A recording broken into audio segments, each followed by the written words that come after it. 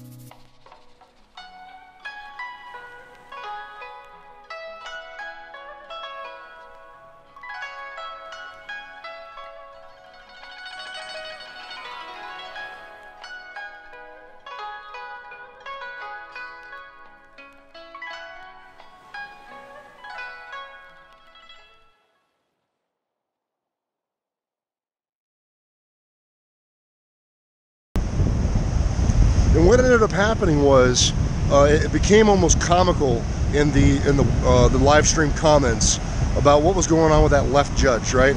Uh, was hitting the, the, red light on lifts, even though the other side judge was passing lifts.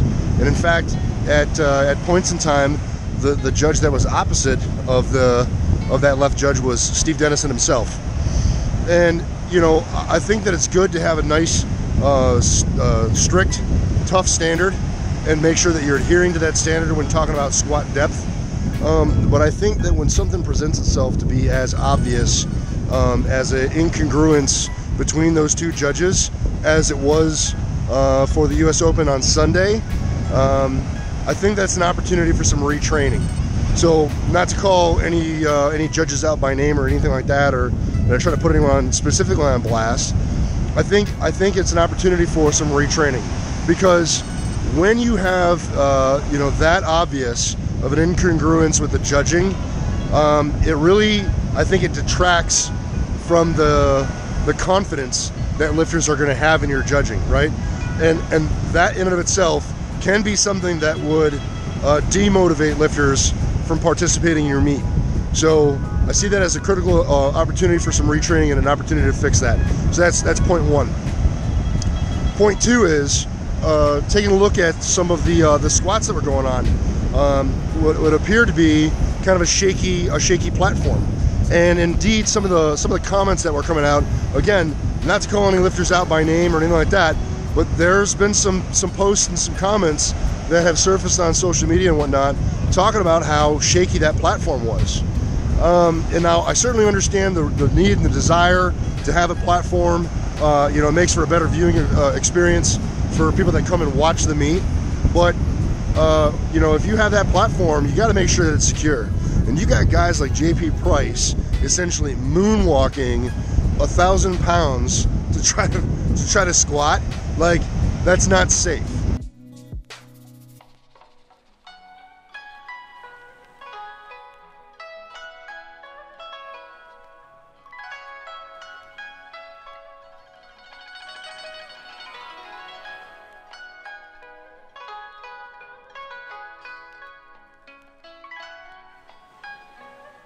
Comes down it comes down to safety for the lifters. And again, that in and of itself will be an element that lifters would decide. No, I don't I don't want to play in that meet, right? Because the, the conditions aren't good. They don't have a stable platform, or the last two years running, or whatever.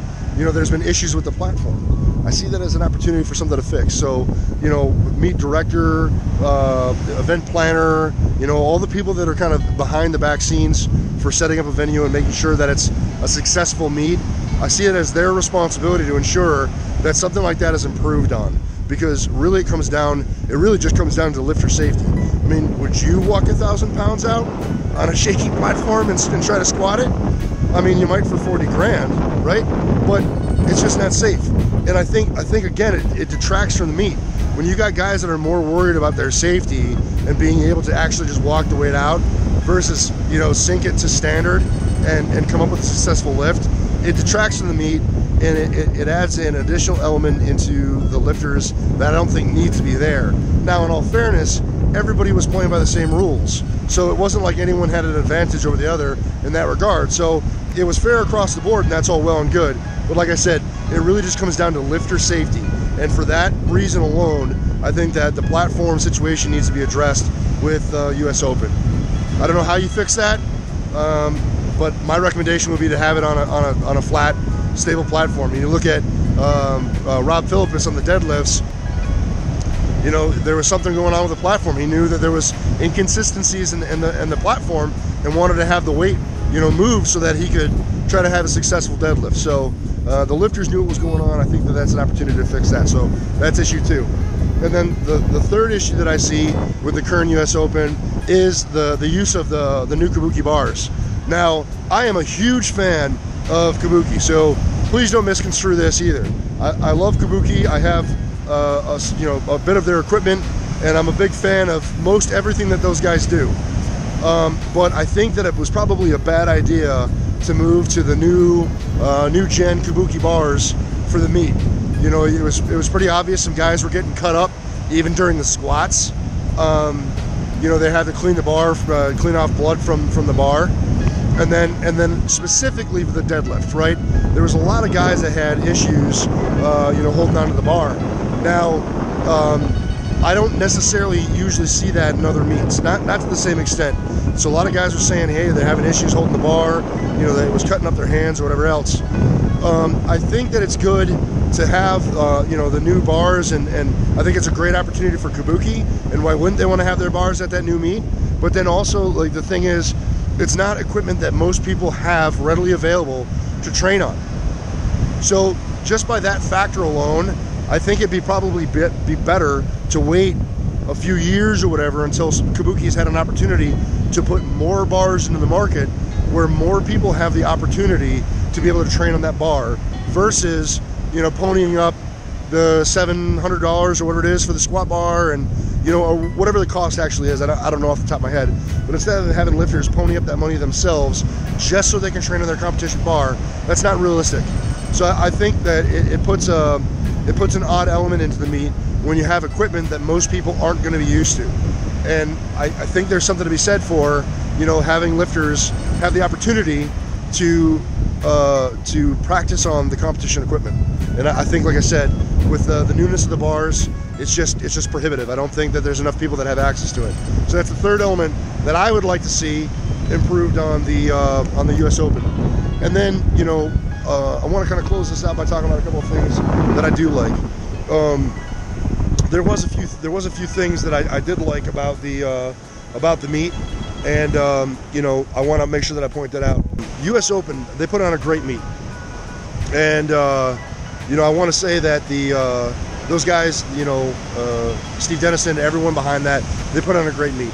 And, and I loved watching it as a lifter. I think that the, a meet of that caliber is, uh, is, is great for the sport, and I love to see that. So I'm super grateful that the meet took place. So again, I don't want to make it sound like, you know, my, my items for improvement are just blasting uh, U.S. Open or anything like that or the people behind it, uh, but rather I just see this as opportunities for improvement. Um, then the live stream. So I want to thank the guys behind that uh, for you know for pro providing the live stream because it was a huge opportunity for for fans of the sport to observe the sport at the highest level, right? To see some of the best athletes in the world doing what they do. And to have that live stream available was awesome. One thing of improvement on the live stream, I'd like to see the, the light system available actually on the live stream so you can tell, um, you know, what uh, what's going on with the judging versus, you know, trying to see through all the bodies that are there between the uh, the spotters, the loaders, and then the entourages and camera guys and whatever else. Uh, that was a little bit difficult to try to, you know, assess what was going on with the meet and how lifters were doing. So those are a couple things uh, that I want to see improved that I think would benefit the U.S. Open and would benefit the lifters. And when the lifters are safe and they're uh, feeling confident with the meet, you know, they're going to be able to go out there and do their best and put on a good show, which is what everybody wants to see. So anyway, I guess that's it, guys. I, I hope you liked the video. Um, I should, I should get some more stuff coming this week while I'm out here. There's a few guys I want to try to link up with. I put in the calls, I, I put out the messages, so I'm just waiting on a couple callbacks, and I'd like to link up with a few guys and do some do some videos, do some lifting, do some training. But it's uh, just depending on whether or not they call me. So we'll see how that goes. Um, but aside from that, guys, yeah, I appreciate you checking out the video. Remember to like, share, and subscribe. If you have any questions or comments, you know, leave it down below. Um, uh, I love I love having you know conversation. So let me know what you guys thought about the U.S. Open. Let me, let me know what you guys think about my points of improvement. If you agree with me, uh, give that a thumbs up. And uh, if you don't, let me know in the comments box what you don't agree with or what you think could be improved to make that, that meet a more successful meet. Anyway, guys, that's it. Um, remember, no matter what it is you think you can't do, train to spite. Remember, fucking, you either find an excuse or you find a fucking way.